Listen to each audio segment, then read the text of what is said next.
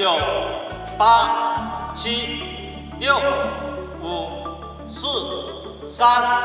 二、一，点火！呃，我们的演练主要分为两大阶段，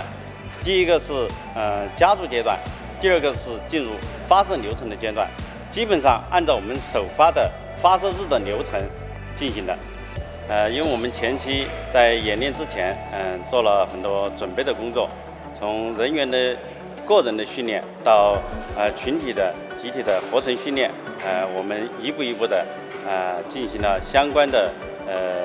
训练跟培训。我们本次演练的话，我觉得效果还是比较好的。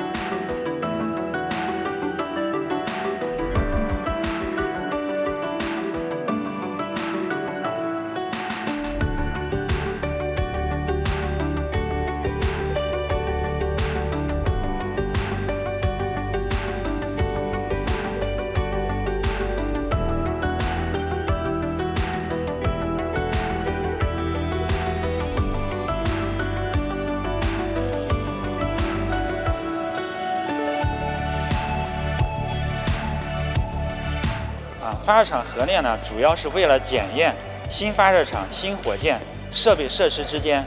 硬件接口以及呃信息流程的协调性、匹配性，啊检检验整个发射流程的合理性。